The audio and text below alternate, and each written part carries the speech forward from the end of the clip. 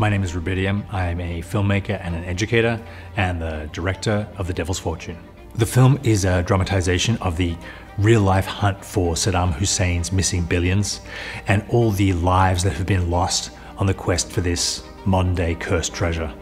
The film deals with the corruption of the global financial system and how greed causes many of us to willfully turn a blind eye to where our profits come from. We shot the film in 17 days in 2020 on the Canon C500 Mark II and the Sumire Primes. It was very start and stop because of COVID, uh, but we made some changes to the script and locations to substitute, say, enclosed spaces for outdoor ones uh, so that we could finish the film.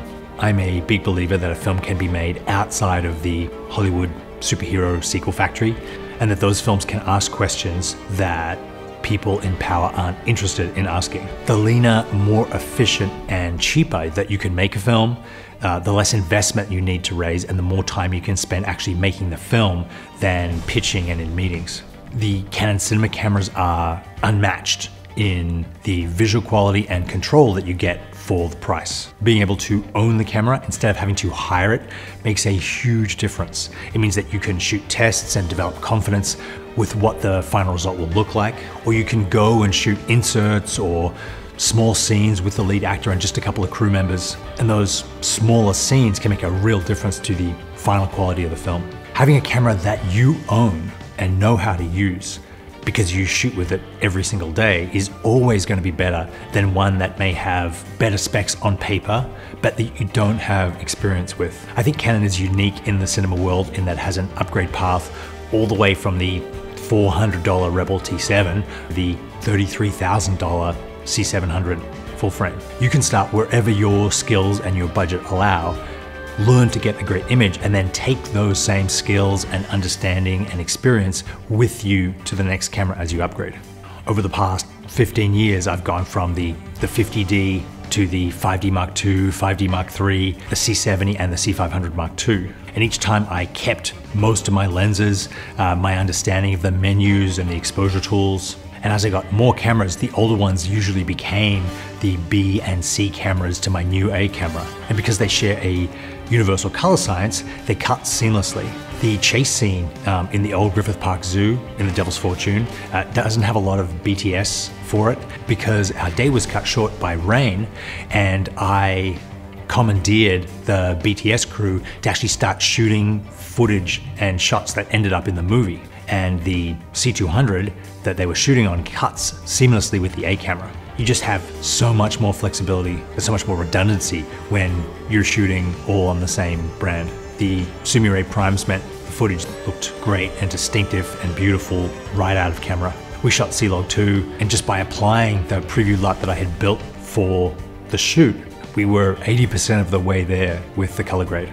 Focus Assist was another amazing tool that we used a lot because it allows uh, me, the director, and the focus puller to share the same monitor and know that the image is sharp without covering the whole screen with focus peaking or something else that diminishes the visual appeal of the image. Pushing in on the frame with the sensor crop was another tool that really allowed us to make our day and get incredible results really, really quickly. There were days when the 35mm Sumire didn't leave the camera because we could use it to shoot the wides, we could crop in on a 35mm sensor size to shoot our mids and close-ups, and then we could crop in again to the 16 mil to shoot our inserts and extreme close-ups, all without having to wait to change a lens, or without having to potentially expose the sensor when it was rainy or dusty outside. It really is like changing lenses with the touch of a button. And even at the 16 mil crop, the image is still super sharp and really usable.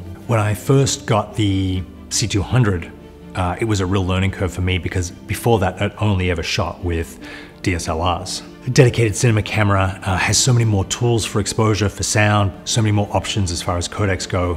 I started experimenting and uploading a lot of these experiments to my YouTube channel, The Crimson Engine, and it's grown to 70,000 subscribers over the past couple of years and has become a real destination for Canon cinema content.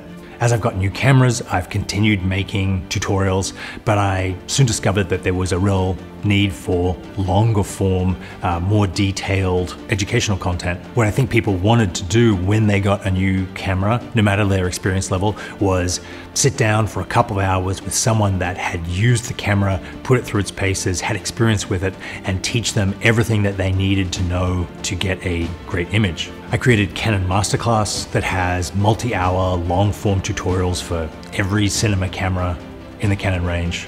We have dedicated classes for C200, C70, uh, R5, R5C, and C500 Mark II. We've since expanded to over 30 courses that cover everything from lighting, blocking, grading, producing, and a ton of other content. Canon Masterclass currently has over 2,000 students and is the largest resource of its kind. I've always found that the freedom to experiment is what leads to advances, and it's only by trying things that you've never done before that you're able to breathe new life into your filmmaking. I really believe that the future of filmmaking belongs to people who have the courage to pick up the camera, learn how to create the images, and tell the stories that only they can tell, and make the world a more interesting place.